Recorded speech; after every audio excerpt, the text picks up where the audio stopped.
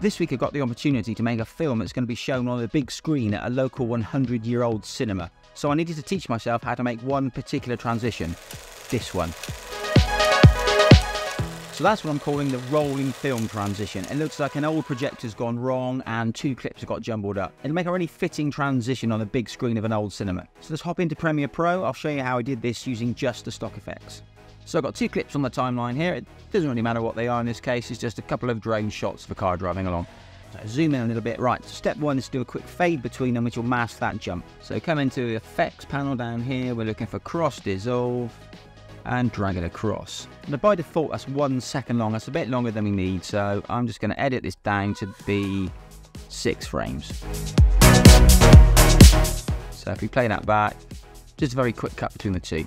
So now we need to add an adjustment layer above those two clips. So come on over into your project bin here, go to new and choose adjustment layer. Just go with the defaults. I'm going to rename it to be film roll and drag that over the transition of your two clips. Get it roughly in the middle there. So obviously we need the picture to roll, so let's do that first. Go back into the effects panel, and of course if that's not there, just come up to window and choose effects. The one we're looking for is called offset. Grab it from here, drop it onto your clip. And now we need to set some keyframes. So let's come back to just a few frames in. And we want to start the shift center to keyframing and then move to near the end again. You don't have to be exact here, and add another keyframe. Now this one, you want to grab the Y offset here because we're rolling it vertically. So grab that and drag it all the way to, uh, I don't know, let's go for about 30,000.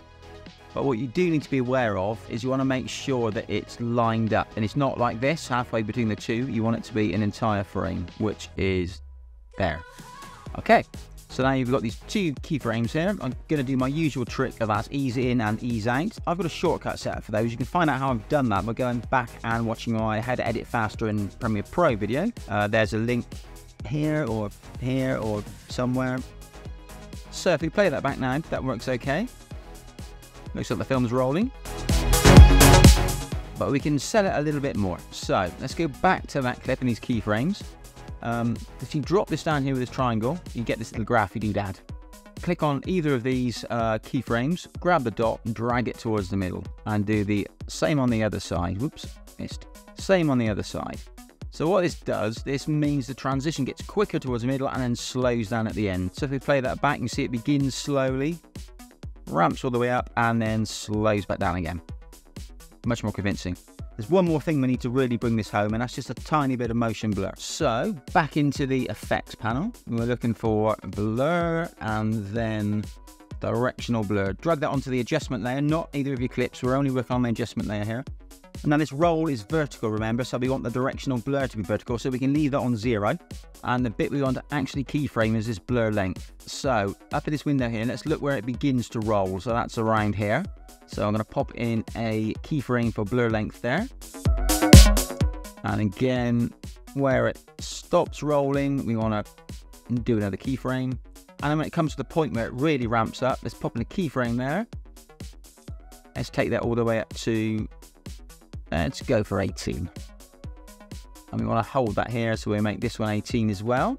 Pop another keyframe in, 18-ish. You can see now, no blur. Blur increases up to 18 as the roll starts to get faster. Holds it a nice blur of 18 around here.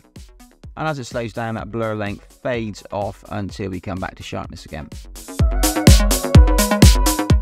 And of course, because we've done all of this on an adjustment layer, quite easy to reuse.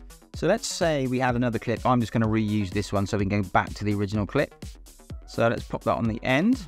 Again, we'll do the same things we did before with the cross dissolve drag that over, shorten the durations, take it down to six frames, and then holding down Alt and dragging to copy the adjustment layer.